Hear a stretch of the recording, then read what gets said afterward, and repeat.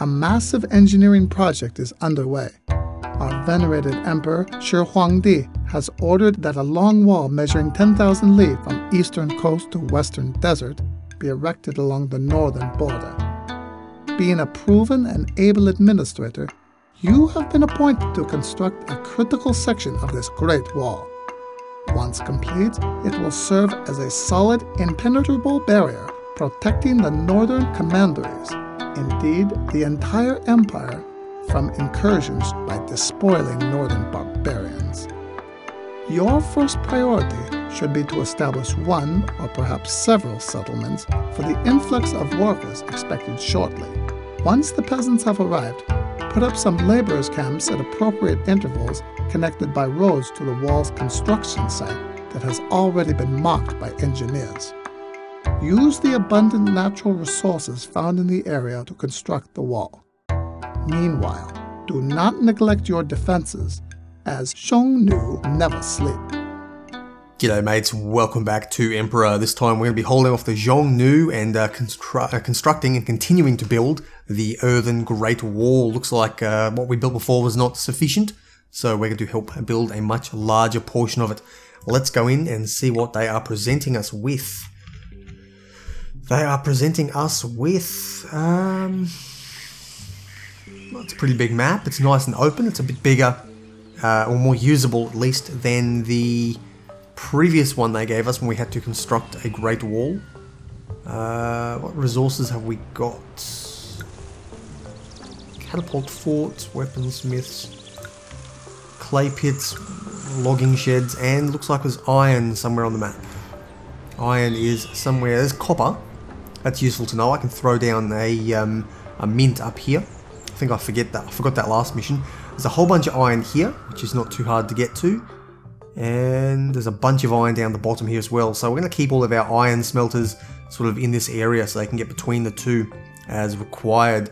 I think we're going to try and go for a heavy iron production this time, assuming that we can trade iron and or weapons away.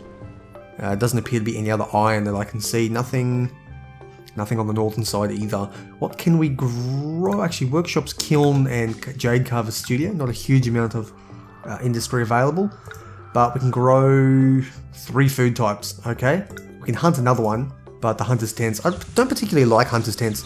I find they're a bit of an unreliable food source, and the fact that we can grow three should be more than sufficient for the most part. Uh, we can get hemp as well, which is useful, and think that's all we need to know. We have three gods again. I think it's going to be an ongoing thing from here on out. And uh, it was just the earthen wall. Given that we're going to be building a lot of stuff, I think it'll be a two housing block solution this time.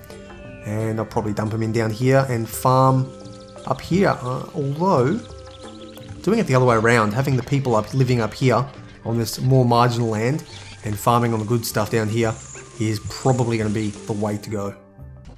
Alrighty guys, here we are, we're all nicely set up with ourselves the uh, the two housing block strategy this time. I had thought about doing a third one, and I've got the potential to do it up here, because there really is nothing else that I can grow other than uh, food and hemp.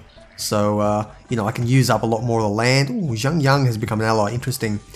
I've got our farms down here with my uh, little thing that I tried a couple episodes ago, looking quite nice and beautiful there, and of course a couple of hemp farms down.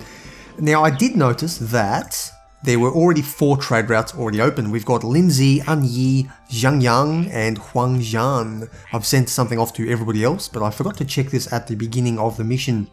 They will buy 12 iron, which is kind of useful. They also buy a fair few ceramics, so that will be pretty much uh, most of our money taken care of in Linzi. Over here at Anyi, they will not buy anything particularly useful. They will sell us salt and millet if we need uh, additional stuff, but I think we are going to be fine with our food because we've got so much land. Uh, in regards to uh, they will buy carved jades if we can find someone to sell us jade. And I've got the, I guess, the effort, you know, the mental effort to spare. I may end up doing some of that, but most of the time it's just a pain in the ass sticking around with importing and exporting stuff and keeping everything feng shui oriented. Uh, they will buy iron, which is kind of handy, and mm, nothing much is worthwhile there. They could sell us uh, maybe some weapons if we're in a bind, but we can make our own Uh, they will also buy weapons over here, and they'll only buy 12 of them. But uh, between that, we've got 12 weapons, we've got 12 iron, and we've got uh, so 24 iron and, and 12 weapons total per year. Should be more than what we can produce just from our trade partners here. Uh, if we need more, then of course I've sent stuff off, and uh, we can find out what everyone else will buy in time. So with that, I think it's going to be worthwhile getting our iron production set up quick smart. And I don't think anything requires timber in iron production. So we're going to set up right down here. And actually, before I go any further, before I go any further, I want to throw down a um, an administrative city. We're going to throw you right there. And that would allow me to uh, throw down that mint up here before I forget any further. Get that mint in. Okay, apparently that was a waste. I cannot put a mint down. That's a little bit shit. Maybe it'll come back. Maybe it needs staff before it'll work. Now, I'll come back and check later if I can build a mint. Uh, it's a little bit unfortunate. I don't know why they put the copper up there then. No worries. We'll move on from there. Okay, trade with Ying has opened. Uh, Shu, everyone else seems to be rejecting. Let's have a look what Ying will do for us. Where's Ying? There we go. They buy even more iron. Excellent. They also buy wheat, which uh, we can grow here. But I don't think it's worth necessarily the effort, unless of course we have a huge amount of unemployment. I could set up a dedicated wheat farm. Um, Shu will also buy iron. Wu will also buy iron. Nomad Camps will buy wheat if we can make it, but they also sell us jade if we want to later, although I suspect they're going to try and invade us at some point based on the mission brief briefing. Ceramics could be handy. Uh, they'll buy more weapons, even better. So yeah, definitely weapons and iron. We're gonna basically able to sell as much as we can produce here. Uh, we're still at nine and a bit grand left in the bank. Uh, the main problem now is just waiting for workers to come on in. So uh, when they get in, then our food will start to kick in. And let's actually, let's actually put agriculture up on high as well, and that'll uh, that'll focus everybody onto the agriculture here, as well as keeping our our places safely looked after. So if we can get a bit of agriculture in, we can get the food in, and then I can start stockpiling and throwing down some uh, some shops. Okay, food is beginning to dribble in slowly. I think that's all of our... Has the wheat harvested this year? Begins in March. That's all been done this year. So with that, what we can do is take our focus off agriculture and uh, it'll open up these storage areas so they can start delivering everything, all the resources being dropped off. Uh, I've also thrown, thrown down a little um, iron area over here. This will just start smelting all the iron, and uh, then we can move on to weapons at a slightly later date. I just want to get things fired up before we have our population fully ready. Uh, at this point, I've almost given up looking for feng shui. I just sort of, you know, I take a rough idea and just run with it. Um, yeah, see, most of it's done. I'm not trying all that hard anymore. It's starting to give me the shits the longer I play this game, but I will, uh, I will try and keep things at, at least a little bit feng shui if possible, but, you know, sometimes you just got to look at the care factor. Okay, we are back to the harvesting season, or the, the growing season again, so I'm going to throw our workers back up on high here. And I'm actually going to put industry on low. That'll, uh, yeah, that'll slow down the iron production, but it's really not the priority at the moment. It's getting the actual city uh, able to sustain itself. So that'll get this all ticking over nicely. We should have then three full food types coming in this year, and uh, which will mean, what will that mean? It will mean that we can get everything sorted. It'll be Ceramics up next. Now I could put them... Where could I put my ceramics? Like actually they don't need to be too near water, do they? I keep thinking in terms of Pharaoh and the other games where uh, you needed to be as close to or nearly adjacent to water. What I can do though is just put my clay pits anywhere where there's probably a water table. So I think it'll be worthwhile getting a nice big ceramics production down here so I can use that for gifting to gods and anything else that I might want in the future. So let's get that sorted now. Okay, we've moved on to the next level, up to plain food now. Some of the housing is beginning to devolve simply because we haven't got enough food coming through. But with the harvest coming in now, we should be pretty much all sorted there. Uh, hemp, hemp will be not really an issue. We've got enough of that coming with our two farms. We've got loads of that coming in, and we'll be able to use that for our uh, for our gods shortly. I don't need it either, but I have thrown down a Taoist temple and a Taoist shrine over here just for the fun of it. Um, the reasoning behind that, I suppose, is to absorb some of the future unemployment that I may have. It's probably going to be worthwhile to start construction on the Great Wall shortly, considering that's the only thing. I could spend a whole bunch of time just building up, but uh, actually, you know what? I'm not going to do that just yet. I am going to source a supply of income, a source of money. Uh, they'll buy weapons, which could be handy, but I think we can also sell the iron to a whole bunch of other people. So let's get on to that. Okay, with that we are all nicely sorted. Most of the iron has gone into these weaponsmiths here. Happy New Year, yep. Most of the iron's gone into these weaponsmiths now. How's our unemployment? Holding off. Uh, and, uh, you know, what we can produce will, will be turned into weapons. Any excess can be exported through uh. Well, they will buy 12 iron a year. Not a huge amount, but uh, that's, a, that's a, fair chunk of it if we're not using it. And, of course, all the weapons can go off to Huangjiang over here. I notice that Linzi can also buy iron, but they're better off buying a fair chunk of the uh, ceramics that we can produce here. We're going to be massively, massively overproducing on ceramics here. So please don't die. Does it matter if they die? I don't think it matters if they die, as long as they buy stuff from me before they die. Uh, food production is not quite holding up as well as I would like, so I'm thinking I'm actually going to throw down another I need ceramics to go any further and we haven't got enough workers. So let's throw down a ceramics shop here and here. And uh, maybe we can stop exporting ceramics for the time being. So I'm going to need I'm going to need these guys to level up to get the workers I require. We also need a lot more food. So I'm thinking three farms may not quite be enough, at least for the early bit. It'll uh, it will cover me once they've had the food flow through them and and uh, supply these houses properly, but all the leveling up is draining them quite quickly. Alrighty, there we go. Going to sell some irrigation ditches. That should help bump up our food production significantly. Uh, I'm not sure exactly how it works. I know it doesn't change fertility at all. The land is still 65% fertile despite being irrigated. So it's a little bit different to the way it worked in, uh, in Pharaoh. But I think it does increase our production in some way. Uh, I couldn't really fit one in here comfortably without destroying a bunch of stuff, but uh, I suppose it would have destroyed something anyway, but I did bring it up the long way. If, uh, if it gets in the way, I can always dig around with that later. Either way though, we got 74 unemployed people and they are going to be put to work very shortly. What I think we're going to need, what do we require first? We require a shit ton of timber. So to that end, what we're going to do is set up a big set of timber production right here with a bunch of uh, labourers camps around the place as required. Just an example of how much I hate feng shui in this game. Look at that, it's just one tile off. This this thing here can be built where it is, and uh, you know, so I assume that can be built there properly. But no, this warehouse is an absolute pain in the ass. Either way, we'll build it up one tile more, and I can fix that with uh, just a little bit of heartache.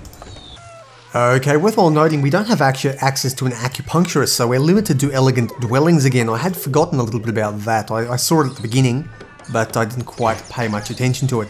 So we may even need a third housing block, I think I'm going to set one up just over here. Uh, there's nowhere else really for me to put one, so hopefully they can get access to the ceramics if required. I'm also going to limit how much we sell at any one time. Let's leave that to 12 per go. Um, let me think about this. I'm going to need, yeah, there's really much no choice in the matter. I'm going to need to throw down another uh, housing block up there because we are still short of people. I mean, I, I did bump it up to high to cover all of that. But uh, once I start throwing down these work camps, we are still going to be short of people. So uh, let's get that sorted. Okay, there we go. There's a couple of houses all lined up. It's not a huge amount, but uh, that should get that done. If I need more, I can throw another one up there. It's not quite as efficient because there's a certain amount of workers required to run any housing block at any given time, uh, you know, in terms of staff for all these various amenities. But uh, there should be a bit of housing population profit there, and I can just play around with the rest as required. Now, the next step is going to be to get these uh, labourers' camps ready and stocked up. Now, my understanding is that provided they, they have worker access, they will travel cross country to get where they need to go. So I can just place them, uh, you know, wherever the hell I, I, need them, wherever the feng shui permits. And, uh, and they should make their way up as required. So, Let's see if that works. I don't think they burn down either. So if they do collapse, then I can fix that problem. These guys should be able to just be placed around where necessary.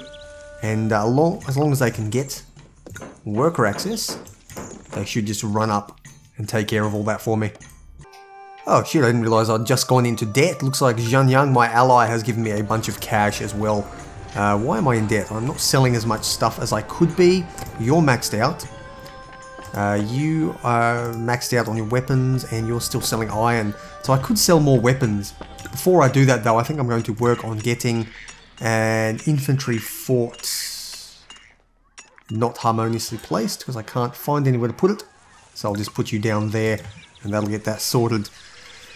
Um, it's going to eat into my profits as well. But I think the next step will be to start taxing people. So we've got enough.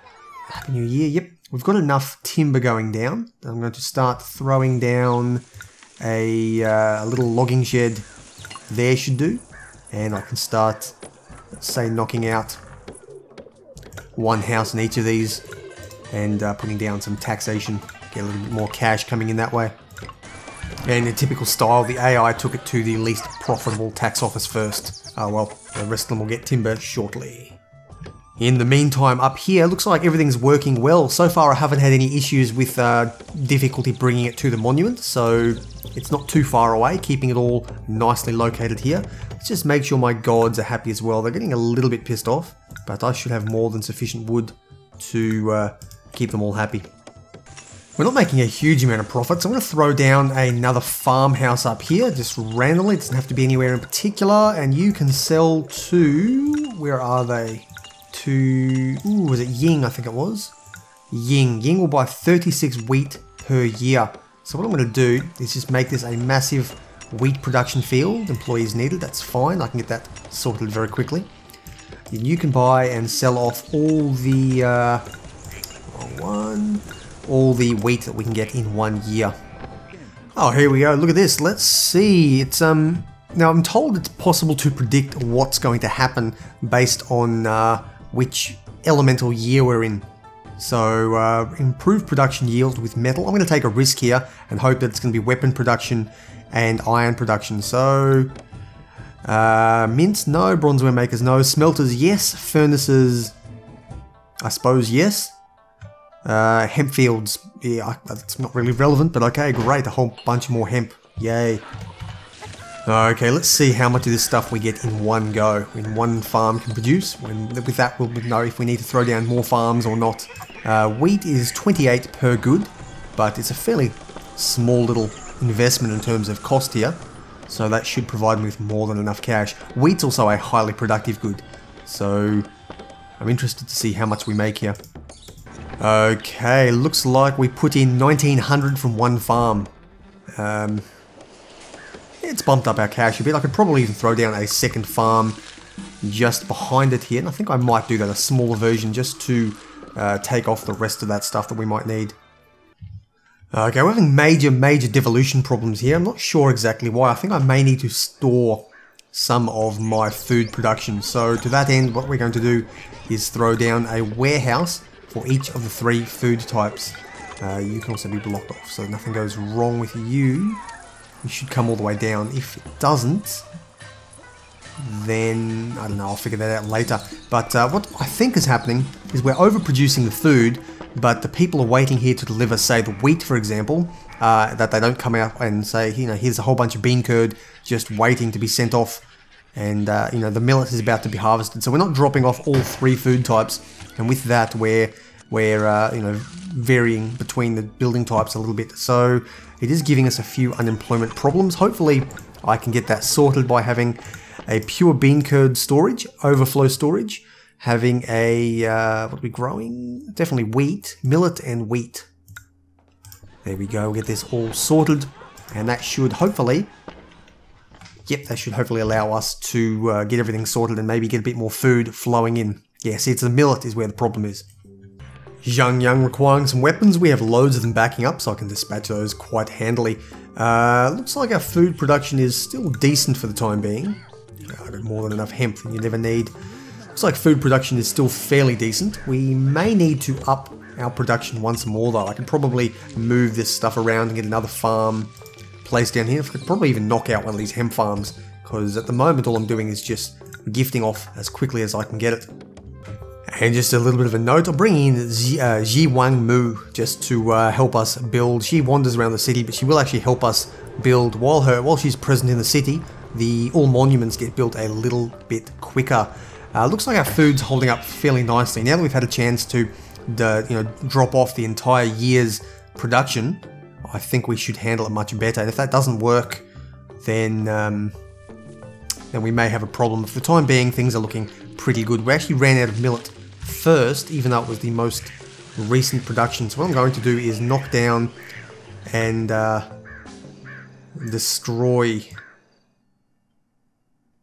one of these, they call it, one of these um, hemp farms and throw in a another millet production. Okay, there we go. That's a whole lot more farming that we can do in, and with that, the millet should be a little bit better. It could be that there's an overlap with uh, harvest in September, begins in July, so it could be that there is an overlap uh, between the different seasons, and so we're not growing enough. We grow more of the wheat because it's up first, and the AI, little farm AI, uh, prioritizes one over the other. Um, yeah, it could be that during this harvest here, that we missed a lot of our uh, millet growing. Either way, we'll see if this stabilizes our food supply or not.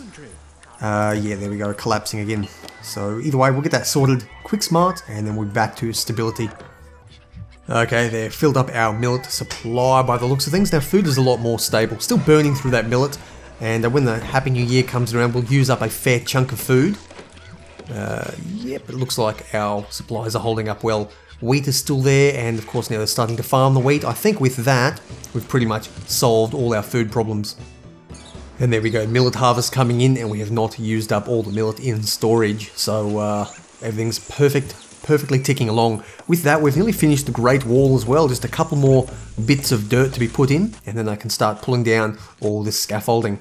Not long now.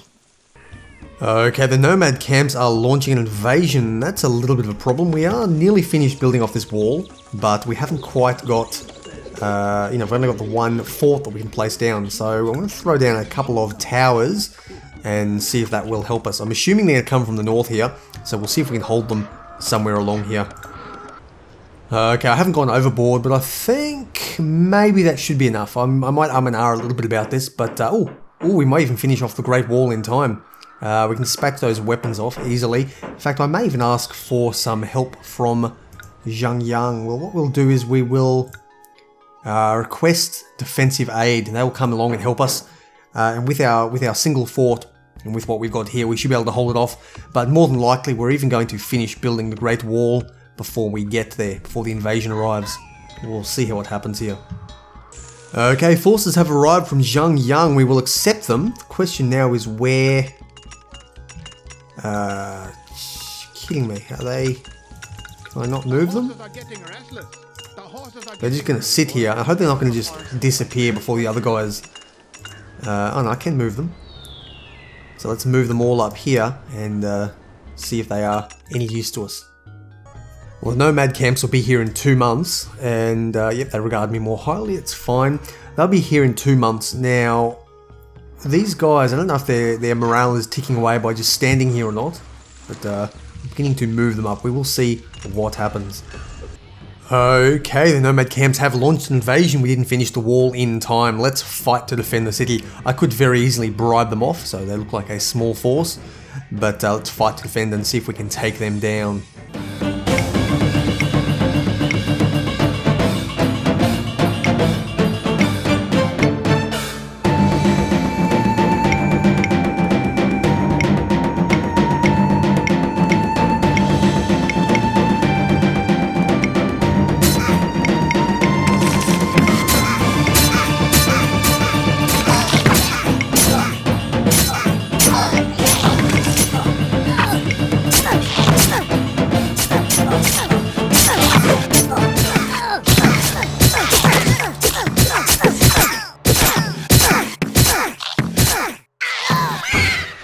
And there we go, smashed them back. They have uh, they have been totally, completely and utterly routed. With that, we can pretty much just force our guys to go back.